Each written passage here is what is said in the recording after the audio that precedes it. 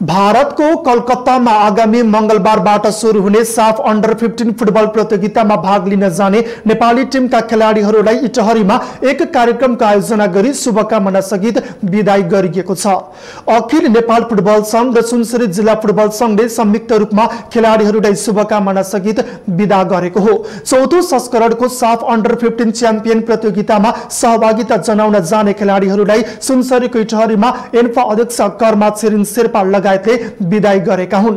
भारतको कलकत्तामा हुने प्रतियोगितालाई मध्यनजर गर्दै सो ठाउँको मौसमी वातावरण मिल्ने ठाउँका रूपमा इटहरीमा केही दिन अघिदेखि अभ्यास गरिरहेका खेलाडीहरूलाई औपचारिक कार्यक्रमको आयोजना गरी विदाई गरिएको हो।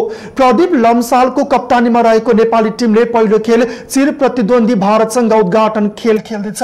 प्रतियोगिताका लागि जाने खेलाडीहरूलाई शुभकामना तथा विदाई कार्यक्रममा एन्फाका आमन्त्रित वरिष्ठ उपाध्यक्ष किशोर राई प्रवक्ता किरण राई इटहरी उद्योग वाणिज्य संघका वरिष्ठ उपाध्यक्ष दिवस पोखरेल लगायतले खेलाडीहरूलाई सफलताको शुभकामना दिएका थिए।